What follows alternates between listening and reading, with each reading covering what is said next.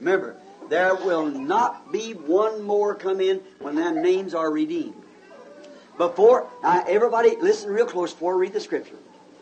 All that ever would be redeemed, God put their name on the Lamb's Book of Life before the world ever come into creation. How many knows that? That's the scripture. And the Antichrist in the last days is going to be so close like the real thing, real church, everything is like Judas was, until it would deceive that very elected if it was possible. Is that right? But no man can come to Jesus except God sends him.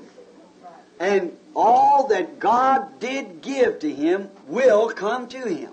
And when he takes that book, the last name, see, all in the Lutheran age, he pulled them out. All in the Wesley age, he pulled them out. All in the different ages, the Pentecostal age, he pulls them out.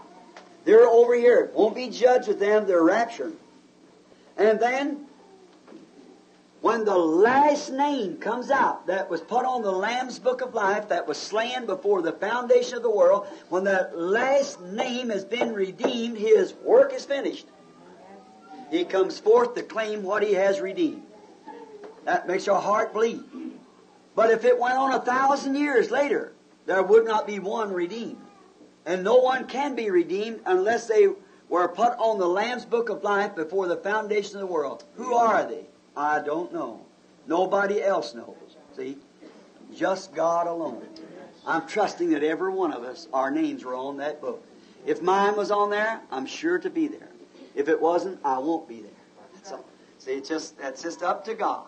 It's not him that willeth, him that runneth, but God that showeth mercy. Amen.